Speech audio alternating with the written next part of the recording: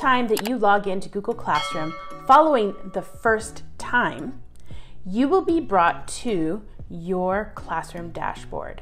And this is where you will be able to see and access all of your classes. Now, in order to join a class, it's nice and easy.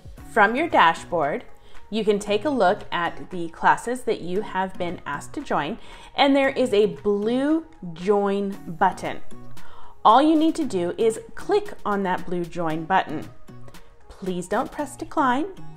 That will decline your invitation, and then you'll need to contact your teacher in order to get the invitation again or to access a class code.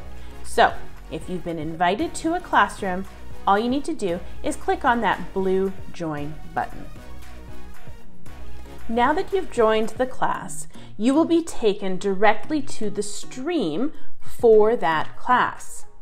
There's a number of things that you can view on this page, one of them being the upcoming assignments on the left-hand side. This will indicate any assignments that are coming due within the next week. They will be shown there for you.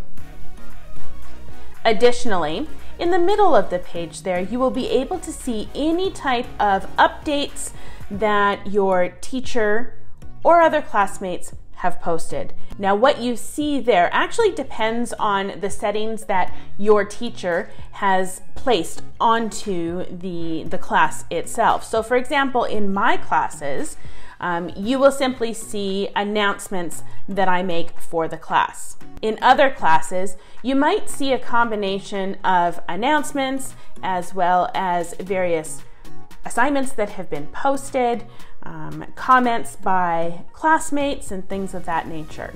So there are a number of different things that are possible to be able to see.